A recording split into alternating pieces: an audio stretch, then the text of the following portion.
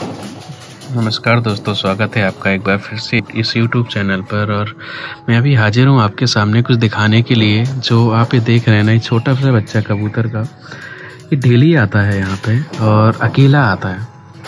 तो मैं अपनी वाइफ से भी बात कर रहा था कि यार, मुझे ऐसा लगता है कि जैसे कि यहाँ तो अपने माँ बाप से बिछड़ गया है या इनके माँ बाप के साथ कुछ ऐसा हादसा हो गया है कि जो इसको अकेला आने के लिए मजबूर करता है। कभी ग्रुप में नहीं रहता। इतने सारे कबूतर रहेंगे, लेकिन लोगों साथ कभी नहीं आएगा। गोचर हमेशा अकेला रहेगा उधर तो।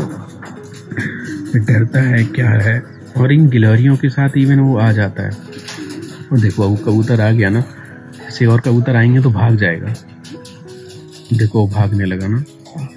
उधर चला गया। तो अब मैं इसको बहुत टाइम से ऑब्ज़र्व कर रहा हूँ कि आगे क्या चक्कर है।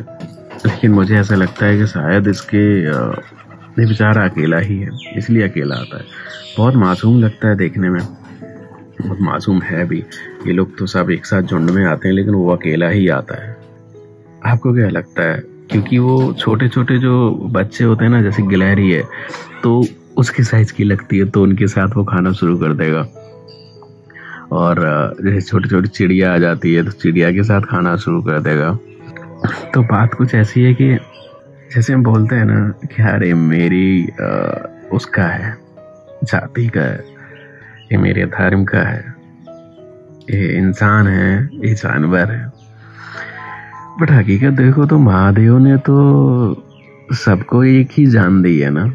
तो आप जिसके साथ जुड़ जाओ, वही आपका दोस्त है। फ़र्क नहीं पड़ता, इंसान है या कोई जानवर है, या किस जाति का है, या क्या, किस धर्म का है। तो इस छोटे से बच्चे को देख के मुझे यही लगा कि गैलरियों से जुड़ा हुआ है और अपने जो इसके प्रकृति ने जो इनको एक वो दिया है कि भाई ये कबूतर है। उनसे उतना नहीं जुड़ा हुआ है, उनसे उसको डर लगता है। तो ये मन की बात है, ये जुड़ने की बात है।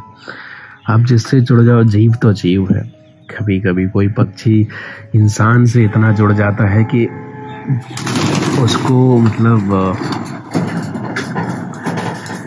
इससे कुछ फ़र्क नहीं पड़ता कि वो पक्षी है। वो उस इंसान के साथ ही बहुत खुश रहता है। तो बात जुड़ने की है दोस्तों। आप जिसको दोस्त बना लो, उससे बात करना शुरू कर दो, वो आपके दोस्त हैं। वैसे ये देखो, ये मेरे प्यारे प्यारे से दोस्त।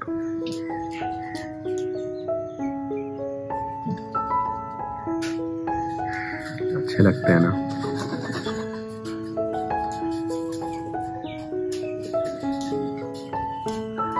यही तो खुशी है, इनके साथ वक्त बिता के, जो लगता है। वो कनेक्शन जो होता है ना, जब आप जिसे फील करते हैं, और आपके पास आते जाते हैं, आते जाते हैं तो आपको लगता है कि यार, आप जुड़ रहे हो, आप इन लोगों से बात कर रहे हो। हाय और ये मस्त खाते रहते हैं, बहुत खब्बू हैं यार। फूडी हैं एकदम, इनको लगता है पूरे दिन का खाना अभी खा लो। और सही भी है, हम लोग तो काम पर निकल जाते हैं, यही लोग रहते हैं। तो दोस्तों, बस यही है। कनेक्शंस बनाओ, किसी के साथ भी हो। और आप अकेले नहीं हो दुनिया में। कोई अकेला नहीं है, अगर आप लॉनली फील कर रहे हो तो। कोई अकेला नहीं है। बस आप जुड़ जाओ। नेचर में बहुत कुछ है जुड़ने के लिए। आप चाहे पेड़ से जुड़ जाओ, चाहे किसी पौधे से प्लांट से, किसी पक्षी से, किसी जानवर से, किसी इंसान से, क्योंकि महादेव ने हर किसी में जान फूकी है। और उनकी बनाई हुई इस अद्भुत चमत्कारी जो प्रकृति है, जो दुनिया है, सब कुछ है और सब सिर्फ़ एक कनेक्शन से ही बिल्ड होती है। तो आप भी बस जुड़े रहें और बातें करते रहें अपनों से पक्षियों से, जिससे भी आप जुड़ सकें और अपने मन की हर व्यथा को बस दूर करते रहें।